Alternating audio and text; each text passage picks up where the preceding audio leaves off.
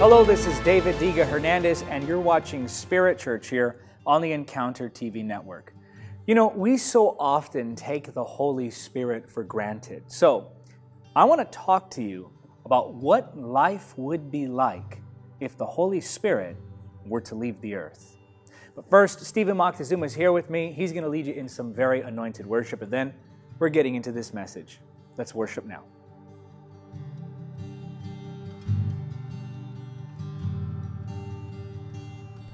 In your presence I quiet my soul. And I hear your voice. In my spirit I hear the sound of salvation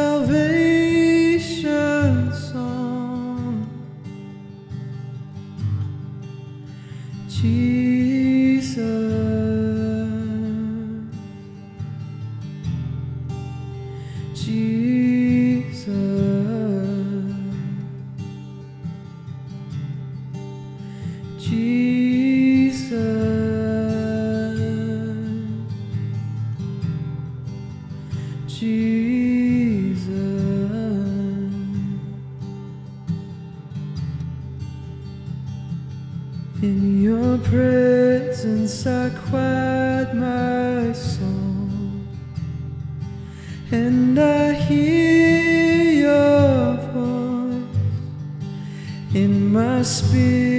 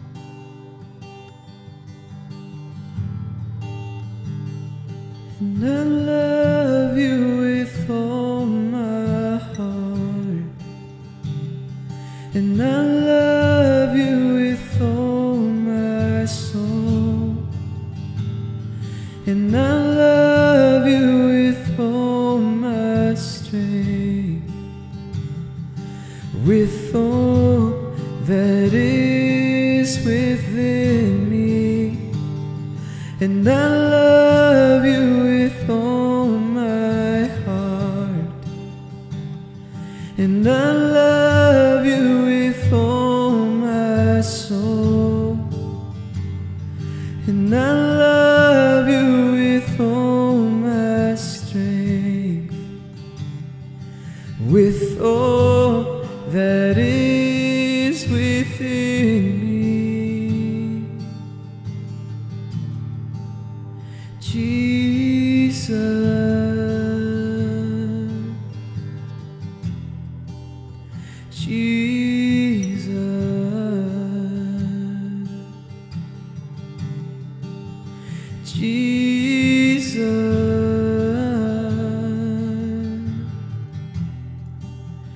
Jesus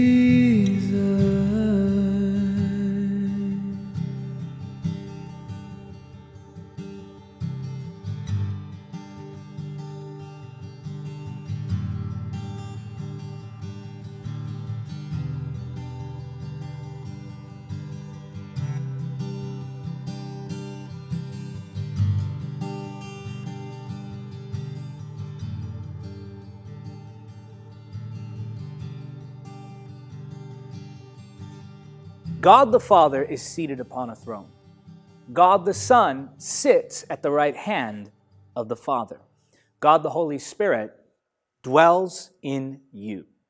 Psalm chapter 139, verse 7 teaches us that you cannot escape from the presence of the Holy Spirit. The Holy Spirit is the omnipresence of God.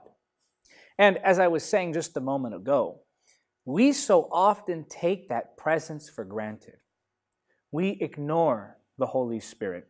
We put him off for another time. And sometimes I think we fail to appreciate just how wonderful it is to have his presence and power in our lives. So, I want to talk to you about this idea. What would happen if the presence and power of the Holy Spirit were suddenly lifted from the earth? Now, I want to assure you, Jesus said that when he sends the Holy Spirit, the Holy Spirit will never leave us. Those who receive the Holy Spirit are not abandoned by the Holy Spirit. The Holy Spirit will never abandon the true believer. That's a fact. That's a promise from Jesus himself. But I think that as we begin to consider what life would be like without the Holy Spirit, that that consideration will produce an appreciation for who He is and what He does in our lives. Now, the scripture does talk about a time when the Holy Spirit moves aside. As I said, the Holy Spirit is omnipresent. But there is a moment in time when the Holy Spirit will allow his influence to be set aside to allow for certain end time events to take place. Watch this, Second Thessalonians chapter 2, verses 7 and 8. For this lawlessness is already at work secretly, and it will remain secret until the one who is holding it back steps out of the way. Then the man of lawlessness, or the Antichrist, will be revealed but the Lord Jesus will slay him with the breath of his mouth and destroy him by the splendor of his coming. Again, that's Second Thessalonians chapter 2, verses 7 through 8. The Holy Spirit is the one here upon the earth, and his influence is holding back the influence of the man of lawlessness. So there is a time that's coming when the Holy Spirit will remove his influence. Of course, as I said, he's omnipresent, but his influence will be allowed to be removed. The Holy Spirit will choose to not influence the earth in that specific way. But while we don't know when this will happen, I do want to consider this idea. What would life be like for the believer if the Holy Spirit were to just someday say, You do it on your own? And one more time, I want to assure you that's not going to happen. But again, I think in considering these things, we learn to appreciate who He is. First and foremost, we see in John chapter 16, verses 7 through 11, that the Holy Spirit is the one who convicts the world of sin. Now imagine that the conscience, the collective conscience of mankind, is suddenly no longer moved by God's holy standard, suddenly no longer influenced by the voice of the Holy Spirit we would see sin increase in the earth like never before.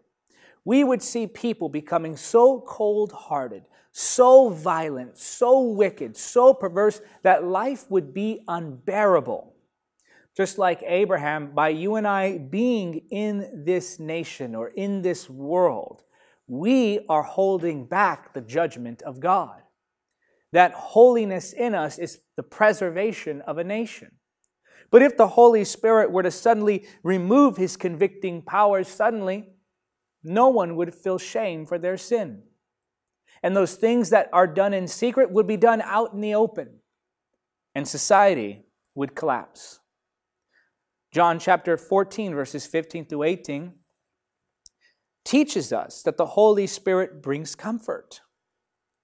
Imagine in those moments of sadness and sorrow those moments of isolation and loneliness, those moments where you feel like quitting because the weight of the world is on you.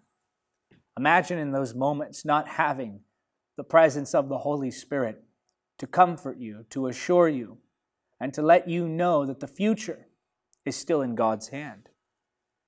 The Holy Spirit helps us to pray according to Zechariah chapter 12 verse 10. He's the spirit of prayer and supplication. Imagine trying to pray without the help of the Holy Spirit. You would run out of things to say. You would run out of passion to fuel your prayer life. Not only that, you would forget to pray because it's the Holy Spirit who reminds you to pray. You would even lose the desire to pray because the Holy Spirit wouldn't be there to cultivate that desire. He's our teacher, according to John chapter 14, verse 26. Imagine that the Holy Spirit wasn't there to walk you through Scripture. Imagine trying to grasp deep spiritual truths without the Holy Spirit teaching you in your spirit to understand those truths. Imagine not being able to comprehend salvation, not being able to comprehend the gifts of the Spirit, not being able to comprehend surrender and sacrifice and ministry, and how to overcome those things in yourself that you want to overcome. Imagine having to go about revelation without the Holy Spirit. Why, we would have no true teaching. We would be confused, and anyone and everyone would give their opinion, and we wouldn't know who was telling us the truth. Our ears would be inclined to hear heretics and false teachers without the Holy Spirit saying, That's not right. We would be easily manipulated by people who were greedy, by people who had selfish ambition, by people who preached just for their own gain, because the Holy Spirit wouldn't be there to say, There's something not right about this. He wouldn't be there to teach, to remind, and to reveal. The Holy Spirit is the one who gives us power for holy living. Galatians chapter 5 verse 16 teaches us that if we live by the Spirit, we will not fulfill the desires of the flesh. Think about how difficult it is to fight temptation even with the Holy Spirit present in our lives. And it's only difficult because we haven't learned to surrender.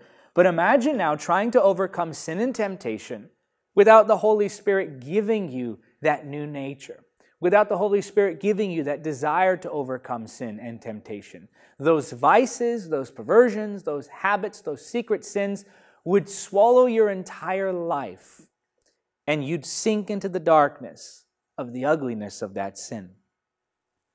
John 4 24 tells us that we are to worship in spirit and in truth. So it is the Holy Spirit who helps us to worship. Imagine not being able to see the glory of God.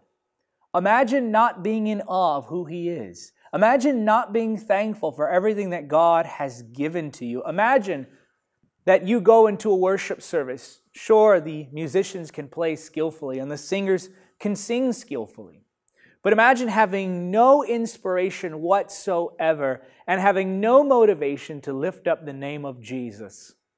There would be nothing glorious on our lives. There'd be nothing grand. There'd be nothing majestic. There would be nothing big, and there'd be nothing that beautiful as the glory of God.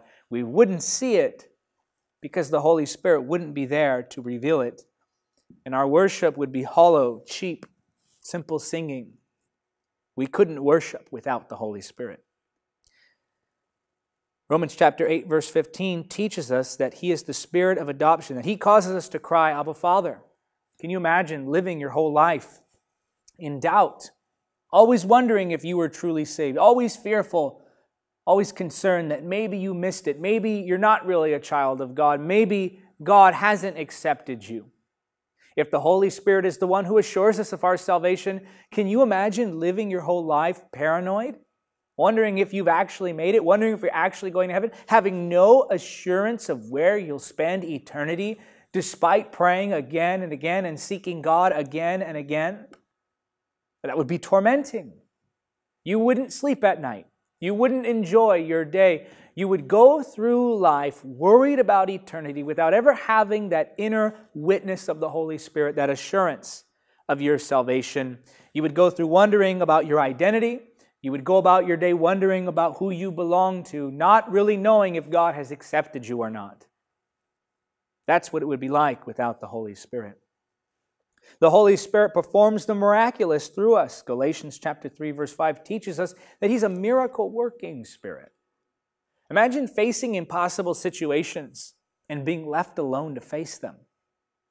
When you and I get into a situation now and we're faced with difficult circumstances, we don't have to worry because we know that ultimately The Holy Spirit's going to come through in the way that we need Him to. That whatever we're facing that seems impossible, that even if the worst should happen, that we're still in good hands and that God still is a God of the miraculous and that there's nothing too difficult for Him. Imagine losing that hope. Imagine losing that sense of security.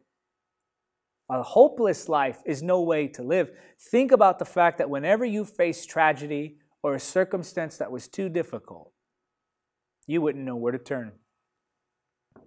And you would think, this is it. Imagine that the one who makes a way where there seems to be no way wasn't making ways for you any longer. The Holy Spirit gives us faith. 2 Corinthians chapter 4 verse 13 teaches us that he is the spirit of faith. Imagine never having faith for anything that God promised. If you have not faith, it might as well be that God never promised a thing. And if you didn't have the faith to believe those promises, how could you ever live in those promises? He gives you boldness. Acts chapter 2, we see that Peter was empowered by the Holy Spirit, and though he was one who denied the Lord, suddenly he became someone who proclaimed the name of Jesus before thousands. Imagine trying to share the gospel, knowing that people are going to hell, and not having the inspiration or the boldness to share that gospel message. And when you shared it, the Holy Spirit wouldn't be there to draw them to salvation. The Holy Spirit wouldn't be there to convict their hearts. He wouldn't be there to reveal that message to them deep within. It would simply be you communicating an idea sheepishly, timidly, with no power. The Holy Spirit teaches us the will of God. Psalm 143, verse 10, teaches us that. Imagine not knowing the direction of your life. And not, imagine not knowing what pleases or displeases God. You're just left wondering if you're angering the most powerful being in all of existence. You're just left wondering if you're disobeying the one who has it all planned out perfectly. That's no way to live. If the Holy Spirit were to suddenly leave the earth, the world would spiral into perversion. You would lose all comfort. You wouldn't be able to pray. You wouldn't be able to understand God's word. You wouldn't be able to live holy. You wouldn't be able to worship. You would be constantly wondering about your salvation. You would have no hope because there would be no such thing as the miraculous. You couldn't have faith to believe any of the promises of God. You couldn't have boldness to share the salvation message. And you couldn't know what direction God wanted you to go in life. That's what it would be like if the Holy Spirit were to suddenly leave the earth. Now, think about this the Holy Spirit hasn't left. And not only has He not left the earth, He hasn't left you. My friend, I want to encourage you. Having considered these things, begin to appreciate the presence and power of the Holy Spirit in your life. Father, in Jesus' name, we thank you that the Holy Spirit has not left us.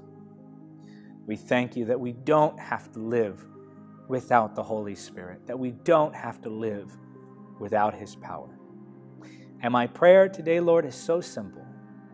Help us to appreciate the precious Holy Spirit. Help us to acknowledge and honor His presence and power. In the name of Jesus, we pray. I want you to say it because you believe it. Say, Amen. Well, that is it for the lesson. I want to welcome now the new members of Spirit Church. There you are up on the screen. We love you. We are praying for you. I always say that because I always mean it. If you'd like to join Spirit Church, go to davidhernandezministries.com slash Spirit Church. Scroll down toward the bottom of the page. You'll see a form. It's absolutely free. Fill out that form, and you are a member of Spirit Church, and you'll begin receiving Spirit Church on a weekly basis right to your email inbox. You'll get the lesson, you'll get the worship, you'll get even event announcements. You'll get all of that in one neat email on a weekly basis. So join Spirit Church today. Almost 15,000 members now from around the world join the Spirit family. Again, davidhernandezministries.com slash Spirit Church. And now I want to read your comments and these comments come from my last teaching, How to Pray in the Holy Spirit. If you want to remove all those barriers that hinder your prayer life, then make sure you go and watch that teaching, How to Pray in the Holy Spirit. And while you're at it, be sure to subscribe to us on YouTube, follow us on Facebook, Instagram, wherever you're watching. Make sure you're connected to us. When you do subscribe on YouTube, make sure to click that notification bell. And if you'd like me to potentially read your comment on next week's edition of Spirit Church, then go ahead and leave a comment in the comment section right now. Here are the comments from last week's teaching How to Pray in the Holy Spirit. Emily Larimore wrote, Amen. Thank you for this powerful teaching, Brother David. Surrender is truly one of the biggest things that helped me in my prayer life. I just want to thank you for being a huge part of my spiritual growth. God bless you. Well, Emily, it's an honor and a privilege to play even a small role in your journey. We give all the glory to God. Thank you for watching Encounter TV. Murta Yanez writes, Thank you, David, for this powerful teaching. When the Lord put it in my heart to know the Holy Spirit more, He led me to your ministry. I'm so grateful to be connected with you, your teachings, your obedience to help people know the Holy Spirit. The more I hear about the Holy Spirit, the more I want to develop a closer relationship with Him.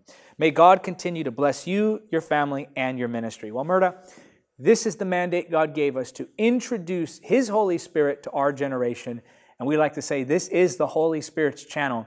He can touch people through it, teach people through it, whatever he wants to do, it's all his. Jethro Rubio writes, Pastor David, thank you for the word of God. I'm so blessed. The questions in my mind were answered when you preached about this topic. God bless you, anointed man of God. Well, Jethro, thank you for watching Encounter TV. And the final comment comes from Mary Lugemba, who writes, God bless you, Pastor David for the amazing message, and brothers Steven and Nick for the music. The word was really encouraging, especially how you reminded us that the Holy Spirit prays for us better than anyone else could. Blessings from Ireland. Well, Mary, we're so thrilled to know that this ministry's helped you and that God's touched your life through the message. And now I want to say a quick word to all of you watching this and you are not watching this by accident. You're here for a purpose and a reason. I believe God's linked us. And so I think you should get linked with this ministry. That connection you sense, that's a spiritual connection. The difference you sense about the ministry, that's the presence of the Holy Spirit. You want to grow spiritually, you want to go deeper, but you also want to stay balanced in the Word of God. I'm telling you, this is the ministry to connect with. And we need your help. We need you to join our cause because there's a lot that needs to be done. There's a lot of darkness that's permeating the globe right now, and you can do something about it. You're not helpless, you're not powerless, you're not alone. It's not as if we just should just sit back and watch the world be overtaken by the enemy. No, we can do something. You can do something about it right here, right now. So if you've ever been frustrated with the way things are going, just know you can do something. And that something is partnering with this ministry. I want you to join hands and link hearts with thousands of believers all around the world. Together, we can do more than we could ever do alone. It's you and I with the help of the Holy Spirit. That's what makes it work. And so I need your help. I need you to join this cause. I need you to join our army of supporters, the thousands of believers all around the world who are behind this. This ministry is growing, it's thriving, it's expanding, and it's impacting lives all around the world with high impact, high efficiency, good stewardship, and laser focus on a vision to win souls and build believers through events and media. So help us do it. We give away all the videos for free, all the live streams for free, all the events are free. The Holy Spirit School, which is our online Bible school, it's free from start to finish. There's nothing that we charge for on the media or in the Department of Events. And that's because freely we receive, so freely we give. How we pay for it, how we keep it all going, is by people like you. It's you. You are the one who's going to help us spread this and keep this going. So you may say, well, how do I get involved? How, how, how can I make a difference? And I don't want you to discount yourself because you might say, well, you know, I can only do a little bit, so it's not going to count. But do you realize that it's all of us together doing just what we can that makes the difference? So I'm going to ask you something and I want you to consider it. Ask the Lord to help you consider it. I want to ask you to become a partner with this ministry for $10 a month. Now, some people are struggling. Some people are worried about their financial future. Some are secure and some are doing well. But all of us can do something, which is why we set it at around $10 a month for monthly partnership. I'm asking you to sign up to become a monthly supporter for at least $10 a month. When you sign up to become a monthly supporter of this ministry, you get access to our monthly Zoom calls. That's exclusive for just partners. You get a 10% discount off all ministry apparel. You get event seat reservations. The events are free, but the seats go fast. Partners get them saved. You get an exclusive monthly email update. You're going to get a beautiful Dove lapel pin that you can wear to show your support of this ministry. And most importantly, you're helping to fund all the content. You're helping to win souls, build believers, see people saved, healed, delivered, baptized in the Holy Spirit, and equipped for ministry. I'm telling you, there's no better way to spend that $10 a month. So, you get to know you're helping people, you get all of those partner benefits, and you get the content too because you're helping to fund this, and the content itself will bless you. That's better than any Netflix subscription, any gym membership, any subscription to anything. This is what you want to do. So $10 a month, you can do that now by going to davidhernandezministries.com slash partner. When you go to davidhernandezministries.com slash partner, you can see all the partner benefits. Now, $30 a month or more, you get all those benefits, plus you can choose a book. We'll sign it and send it to you as our thank you gift. At $100 or more a month, your discount doubles 20% off all ministry apparel, plus you get not one, but four books, all of them signed as our thank you to you for being our partner. Now, if there are people watching, you can do those larger gifts. Someone's watching right now. God's blessed you in business. God's blessed your organization. God's blessed what you do. He's blessed the work of your hands. He put those resources in your hands that you might be one who funds the kingdom in these last days to reach a generation. There's no better way to invest it. So I'm asking everyone, from those who are well off to those who are not so well off, all of us can do something. But I am asking you to do something. Partner with any amount or give any amount one time. DavidHernandezMinistries.com slash donate to give a one-time gift. DavidHernandezMinistries.com slash partner to become a monthly supporter. Whatever you do, please do it right now and help us continue to take the gospel of Jesus Christ in the power of the Holy Spirit all around the world through events and media. Well, that is it for this edition of Spirit Church here on the Encounter TV network. Until next time, remember, nothing is impossible with God. Thank you for watching Encounter TV. Don't forget to subscribe and click the notification bell. Also, help us spread the gospel of Jesus Christ in the power of the Holy Spirit. Make a one time donation or become a monthly supporter by clicking on the donate link now.